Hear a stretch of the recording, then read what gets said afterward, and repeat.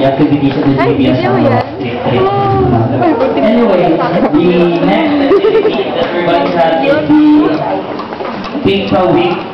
That will be on the third week of July. So, ano nakabalon sa meaning sa PICPA? Wala. Ikaw kayo na si accounting.